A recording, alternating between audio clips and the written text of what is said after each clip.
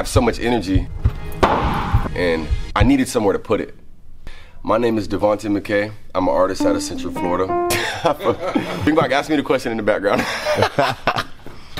always, always took my music super duper serious, uh, but it wasn't until about like what two years ago I released two songs on Facebook Live, two songs, and uh, I had Big Mike notice me.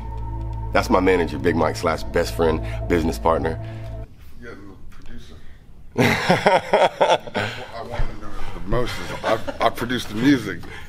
Basically called me and was like, we have to do a meet and greet. I showed him what I was about, you know, he showed me what he was about. We linked up in the most beautiful way and it worked out like magic, magic. I'm tired of the fake shit. I'm just tired of all the give and take shit. I'm just tired of every situation. Well, at least it makes me. That's when it started getting serious.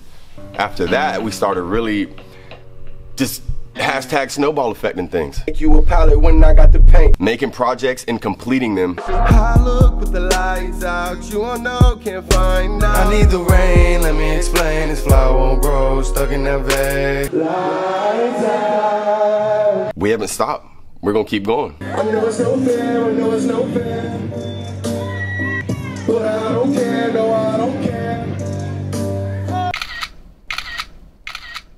Truthfully, it's okay cause one day you'll be used to me. Every fucking channel that you change the view of you of me. Lucidly, you would probably feel like you should snoop to me. and Hit me up and I'll reply there's nothing you can do for me.